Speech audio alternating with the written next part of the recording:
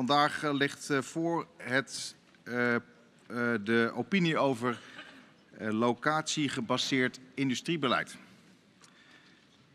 Locatie, regio en versterking van de industrie kan alleen maar door clustervorming, het verbeteren van innovatie-ecosystemen en interregionale samenwerking.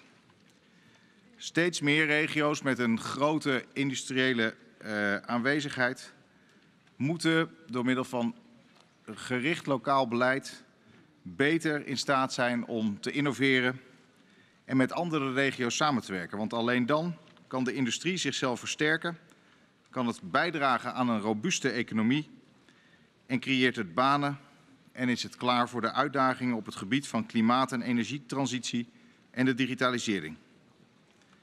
Sterke industriële regio's hebben impact op alle omliggende regio's. Hoe sterker de industriële regio, hoe meer de andere regio's daarvan profiteren. En het is belangrijk dat dat impact heeft op regelingen zoals EFRO en Interreg. Veel meer nog dan nu moeten regelingen bijdragen aan die interregionale samenwerking, zodat vernieuwing, innovatie en specialisatie beter op elkaar afgestemd kunnen worden en mensen meer van elkaar kunnen leren. Voorzitter, dank u wel.